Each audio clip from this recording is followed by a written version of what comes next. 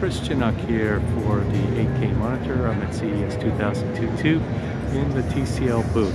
Uh, what we're looking at is a technology demonstrator.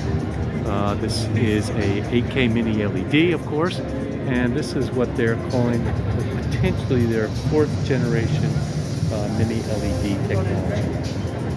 TCL was one of the pioneers, I'd say the pioneer in developing mini LED uh, backlights for TVs.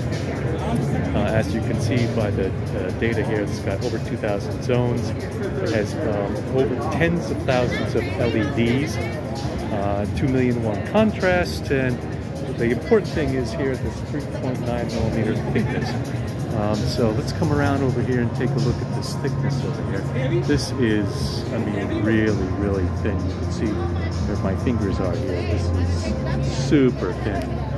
Uh, and it's also very bright. Uh, they did not put any specifications on uh, the brightness, but it's clearly very bright. Uh, this has also been developed by TCL's CSOT, their panel subdivision. Now, uh, the fourth generation technology is still um, not being disclosed, uh, but it could be a glass-based active matrix where they put the uh, LEDs on that substrate to make this very thin. Uh, it could also be a, a, diffuser plate that's been embedded with the quantum dots and many LEDs can actually be embedded in the, in the diffuser uh, and then contacts put on top of that. Uh, Nanosys has talked about that kind of capability.